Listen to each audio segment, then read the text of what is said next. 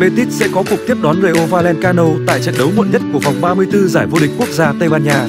Lúc này Betis vẫn đang đứng thứ 6 trên bảng xếp hạng với 52 điểm sau 33 vòng đấu, kém các đội top 4 tới 10 điểm. Thế nhưng phong độ của Betis vào cuối mùa giải là khá thất thường. Ngay cả ở năm vòng đấu gần đây đội bóng cũng chỉ có hai trận thắng, một trận hòa và để thua hai trận.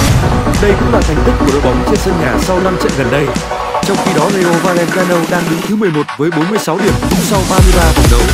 Thế nhưng khoảng cách của Rayo Vallecano với các đội top 7 có xuất dự cúp châu Âu chỉ đang là 2 điểm trong khi đội bóng còn thi đấu ít hơn một trận. Ở năm trận gần đây Rayo Vallecano có 3 trận thắng xen kẽ 2 trận thua. Tuy nhiên, trên sân khách phong độ của Rayo Vallecano là rất tệ khi chỉ hòa một, để thua 4 sau 5 lần thi đấu gần nhất.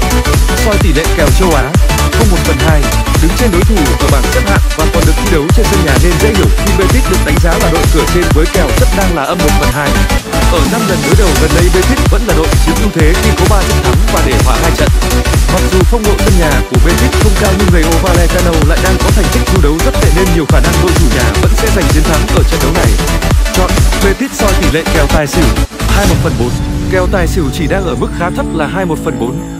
Nếu như hàng công của Betis đang thi đấu khá thất thường ngay trên sân nhà thì Rayo Vallecano cũng có hàng công chơi tệ ở các lần du đấu gần đây thế nên có lẽ đây vẫn sẽ chỉ là trận đấu có ít bàn thắng.